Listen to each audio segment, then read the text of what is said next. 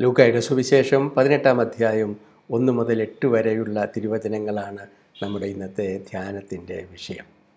ഈശോ ഒരു കഥ പറയുകയാണ്. അതായത് നീതിരഹിതനായ ഒരു ന്യായാധിപന്റെ കഥ. അയാളുടെ വിശേഷണം ശ്രദ്ധിക്കണം. ദൈവത്തെ ഭയപ്പെടുകയോ മനുഷ്യരെ ബഹുമാനിക്കുകയോ ചെയ്യാത്ത ന്യായാധിപൻ രണ്ടുമില്ല. അങ്ങനെ ഒരു ഒരുത്തന്റെ കഥ പറയുന്നതിന്റെ ലക്ഷ്യം തുടക്കത്തിൽ തന്നെ സുവിശേഷകൻ പറയുന്നുണ്ട് ഒന്നാമത്തെ വചനത്തിൽ ഭഗ്നാശരാകാതെ എപ്പോഴും പ്രാർത്ഥിക്കണമെന്ന് കാണിക്കാൻ ഈശോ അവരോട് ഒരു ഉപമ പറഞ്ഞു. ഈ ഉപമയുടെ ലക്ഷ്യം ഇതാണ് ഭഗ്നാശരാകാതെ നിരാശരാകാതെ എപ്പോഴും പ്രാർത്ഥിക്കണം. തുടർച്ചയായിട്ട് പ്രാർത്ഥിക്കണം. തുടർച്ചയായിട്ട് ദൈവത്തോട് അപേക്ഷിക്കണം. തുടർച്ചയായിട്ട് തമ്പുരാനുമായി ബന്ധത്തിലായിരിക്കണം എന്ന് കാണിക്കാൻ വേണ്ടിയിട്ടാണ് ഈശോ ഈ കഥ പറയുന്നത്. കഥയിലോ നീതിരഹിതനായ ഒരു ന്യായാധിപൻ. ആ ന്യായാധിപന്റെ അടുത്ത് നീതിക്ക് വേണ്ടി വിധവയായ ഒരു സ്ത്രീ നിന്ന് കരഞ്ഞപേക്ഷിക്കുന്നു. അയാൾ ഗവനിക്കുന്നില്ല ഗവനിക്കുന്നില്ല ഗവനിക്കുന്നില്ല. എന്നിട്ടും തുടർച്ചയായിട്ട് അപേക്ഷിക്കുന്നത് കൊണ്ട് ശല്യം സഹിക്കവയ്യാതെ നീതി നടത്തുന്നു എന്നാണ് കഥയിൽ ഈശോ പറയുന്നത്. എന്നിട്ട് ഈശോ ചോദിക്കുന്ന ഒരു ചോദ്യമുണ്ട്. രാവും പകലും തന്നെ വിളിച്ചപേക്ഷിക്കുന്ന തന്റെ തിരഞ്ഞെടുക്കപ്പെട്ടവർക്ക് എന്ന് പറഞ്ഞാൽ ഈ രാവും പകലും വിളിച്ചപേക്ഷിക്കുക നിരന്തരം പ്രാർത്ഥിക്കുക എന്നതിന് വേണ്ടിയാണ് ഈശോ ഈ കഥ പറയുന്നത്. അങ്ങനെ അങ്ങനെയെങ്കിൽ ശ്രദ്ധിക്കേണ്ട ഒരു കാര്യമുണ്ട്. ഈ കഥയുടെയും ഈശോയുടെ പഠനത്തിന്റെയും മർമ്മം എന്ന് പറയുന്നത് തമ്പുരാനുമായിട്ട് നിരന്തരമായ ബന്ധത്തിലാവുക.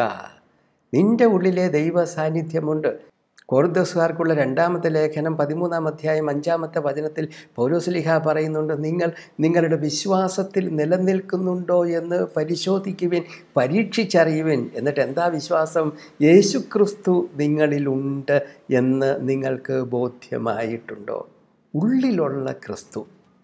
ആ ക്രിസ്തുവുമായിട്ട് ദൈവസാന്നിധ്യവുമായിട്ട് നിരന്തരമായ ബന്ധത്തിലാകണമെന്ന് തന്നെയാണ് ഈശോ ഇന്നത്തെ ഈ കഥയിലൂടെ പറയുന്നത്. ഈശോ അത് പറയുന്നത് സ്വന്തം ജീവിതാനുഭവത്തിൽ നിന്ന് തന്നെയാണ് പിതാവുമായിട്ട് നിരന്തരമായ ബന്ധത്തിൽ പിതൃ സാന്നിധ്യവുമായിട്ട് നിരന്തരമായ ബന്ധത്തിൽ ആകണമെന്ന് ജീവിതം കൊണ്ട് കാണിച്ചവനാണ് ഈശോ. അങ്ങനെയെങ്കിൽ ഈശോ പറയുന്ന ഈ കഥയുടെ മർമ്മം എന്ന് പറയുന്നത് ന്യായാധിപന്റെ നീതി നിഷേധങ്ങളെ ഓരോ പ്രാവശ്യവും ഇവർ അപേക്ഷിക്കുന്ന അപേക്ഷയുടെ നിരാസങ്ങളെയൊക്കെ വീണ്ടും വീണ്ടും അപേക്ഷിക്കാൻ. വീണ്ടും വീണ്ടും ബന്ധത്തിലാകാനുള്ള അവസരങ്ങളായി ഉപയോഗിക്കണമെന്നാണ് ഈശോ ആവശ്യപ്പെടുന്നത്. എന്ന് പറഞ്ഞാൽ നമ്മുടെ ജീവിതത്തിൽ അനുഭവപ്പെടുന്ന ജീവിതത്തിന്റെ ക്ലേശങ്ങൾ നിഷേധങ്ങൾ നിരാശകൾ അവയൊക്കെ എന്താണ് തമ്പുരാനുമായി വീണ്ടും ബന്ധത്തിലാകാനുള്ള അവസരങ്ങളാക്കി എടുക്കണം അവസരങ്ങളാക്കി രൂപാന്തരപ്പെടുത്തണം. അങ്ങനെ രൂപാന്തരപ്പെടുത്തുന്നിടത്താണ് നിരന്തരം തമ്പുരാനുമായി ബന്ധത്തിലാകുന്നത്. നിരന്തരം നമ്മിലെ ദൈവസാന്നിധ്യവുമായിട്ട് ബന്ധത്തിലാകുന്നത്. അത്തരമൊരു നിരന്തരമുള്ള ബന്ധത്തിലേക്ക് വരാനാണ് ഈശോ ആവശ്യപ്പെടുന്നത്. ചാക്കോച്ചൻ എന്ന ഒരു കുഞ്ഞിന്റെ കഥ പറയാം. ഇവന് എൽ കെ ജിയിൽ പഠിക്കുന്ന കാലമാണ്. ഒറ്റപുത്രനാണ്. അതുകൊണ്ട് മാതാപിതാക്കളുടെ പൊന്നോമനയായിട്ട് വളർത്തുകയാണ്. ഇവനാണ് അവിടുത്തെ വി ഐ പി എപ്പോഴും. അതവൻ ഉറപ്പാണ്. പക്ഷേ ഏതെങ്കിലും ഒരു അതിഥി വന്നാൽ അപ്പന്റെ ശ്രദ്ധയും സ്വീകരണവും അങ്ങോട്ട് പോകുന്നു. ഇത് ഇവൻ മനസ്സിലാക്കി കഴിയുമ്പോൾ ഇവൻ ഓടി അപ്പന്റെ മടി വന്നിരിക്കും ഒരു സംശയമായിട്ട് എൽ കെ ജി പാഠപുസ്തകത്തിൽ അവനായും അവനെ പിടിച്ച് സ്നേഹപൂർവം മടിയിലിരുത്തി അതിന് ചെറുതായ ഒരു സംശയ നിവാരണമൊക്കെ പറഞ്ഞു കൊടുത്ത് വിടും. വീണ്ടും അല്പം കഴിയുമ്പോൾ വീണ്ടും അവനോടി വരും. സാധാരണ പിതാക്കന്മാരാണ് എന്നാ ചെയ്യും? ഭാര്യയെ വിളിച്ചിട്ട് ഇവന്റെ കാര്യം നോക്കാൻ പറയും. ഈ അപ്പൻ വളരെ തന്മയത്വത്തോടെ അവനെ വീണ്ടും മടിയിലിരുത്തിക്കൊണ്ട് അല്പം വർത്തമാനം പറയും എന്നിട്ട് പറഞ്ഞു വിടും. ഇത് വീണ്ടും ആവർത്തിക്കും. ഇവൻ എന്താ ഇത് ചെയ്യുന്നത്? ഇവൻ ശരിക്കു പറഞ്ഞാൽ ഒന്ന് റീ അഷ്യൂർ ചെയ്യുകയാണ്. ഞാനാണ് അപ്പന് ഏറ്റവും വേണ്ടപ്പെട്ടയാൾ അപ്പന്റെ ഏറ്റവും വലിയ വി ഐ പി ഞാനാണ്. അതാണ് അവൻ വീണ്ടും വീണ്ടും ഉറപ്പിക്കുക. ഓരോ പ്രാവശ്യം അപ്പന്റെ മടിയിൽ കയറിയിരുന്ന് സംസാരിക്കുന്നതിലൂടെയും. ഇതുതന്നെയാണ് ഈശോ ഇന്ന് സുവിശേഷത്തിലൂടെ പറയുന്നത്. ജീവിതത്തിന്റെ ഓരോ സന്ദർഭങ്ങളും ഓരോ ദുഃഖങ്ങളും ഓരോ വീഴ്ചകളും ഓരോ സങ്കടങ്ങളും അവസരങ്ങളാക്കി മാറ്റുക എന്തിന്? അപ്പന്റെ മടിയിൽ കയറിയിരിക്കാൻ. അപ്പനുമായിട്ടുള്ള ബന്ധമൊന്നുകൂടെ ഉറപ്പിക്കാനുള്ള അവസരമാക്കി മാറ്റുന്നിടത്താണ് ഈ അപ്പനുമായിട്ടുള്ള ബന്ധം ആഴപ്പെടുന്നത്. നിരന്തരമായ ബന്ധത്തിലേക്ക് ഇത് വളർന്ന് കയറുന്നത്. ഇതേ കാര്യം തന്നെ ഈശോ പതിനൊന്നാം അധ്യായത്തിൽ ഒൻപതാമത്തെ വചനത്തിൽ പറയുന്നുണ്ട്. അതായത് നിങ്ങൾ അന്വേഷിക്കുവിൻ അപ്പോൾ കണ്ടെത്തും. മുട്ടുവിൻ തുറക്കപ്പെടും. ചോദിക്കുവിൻ ലഭിക്കും. എന്ന് പറഞ്ഞാൽ അവിടെ ഉപയോഗിച്ചിരിക്കുന്നത് അന്വേഷിക്കുവിൻ അന്വേഷിച്ചു കൊണ്ടിരിക്കുവിൻ മുട്ടുവിൻ മുട്ടിക്കൊണ്ടിരിക്കുവിൻ ചോദിക്കുവിൻ ചോദിച്ചുകൊണ്ടിരിക്കുവിൻ നിരന്തരമായ തുടർച്ചയായ ഒരു ബന്ധത്തെക്കുറിച്ച് തന്നെയാണ് ഈശോ അടിവരയിടുന്നത്. ഇവിടെ ഈശോ പറയുന്നത് അങ്ങനെ ചോദിച്ചാൽ തുടർച്ചയായിട്ട് ചോദിച്ചാൽ തിരഞ്ഞെടുക്കപ്പെട്ടവർക്ക് നീതി നടത്തി തരാതിരിക്കുമോ? എന്നാൽ പതിനൊന്നാം അധ്യായത്തിൽ ഈശോ പറയുന്നത് നിരന്തരമായിട്ട് ചോദിച്ചു കൊണ്ടിരിക്കുമ്പോൾ എന്ത് കൊടുക്കും?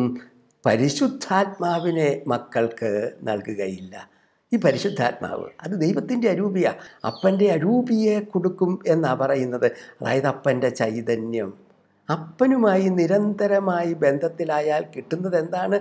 അപ്പന്റെ ഒരു ചൈതന്യമാണ് അപ്പന്റെ ഒരു കാഴ്ചപ്പാടാണ് അപ്പന്റെ ഒരു സ്പിരിറ്റാണ് മകന് കിട്ടുന്നത്. ഇതാണ് ഏറ്റവും വലിയ നീതി. ഇതാണ് ഏറ്റവും വലിയ സമ്മാനം. അപ്പന്റെ ചൈതന്യം സ്വന്തമാക്കുക.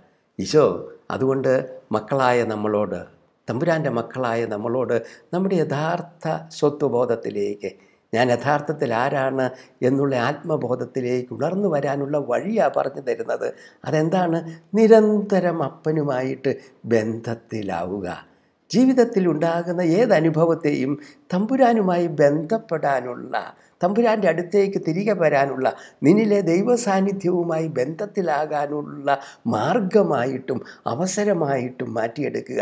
അങ്ങനെ മാറ്റിയെടുക്കുമ്പോഴാണ് നീ നിരന്തരം ബന്ധപ്പെടുന്നവൻ നിരന്തരം ബന്ധത്തിലാകുന്നവൻ നിരന്തരം പ്രാർത്ഥിക്കുന്നവൻ തുടർച്ചയായിട്ട് തമ്പുരാനുമായി ബന്ധത്തിലാകുന്നവൻ ആയിത്തീരുന്നത്. അതിലൂടെ എന്താ സംഭവിക്കുന്നത്? നീ ദൈവത്തിന്റെ മകനാണ് മകളാണ് എന്നുള്ള ആത്മബോധത്തിൽ ഓരോ പ്രാവശ്യവും ഒരു പടി വളർന്ന് വളർന്നു വരുന്നു. ഈശോയോട് നമുക്ക് പ്രാർത്ഥിക്കാം.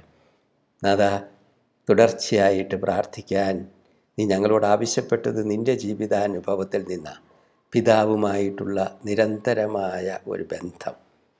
ഈശോയെ അത്തരമൊരു അനുഭവത്തിലേക്ക് ഞങ്ങളെയും നീ കൈപിടിച്ച് നടത്തണമേ.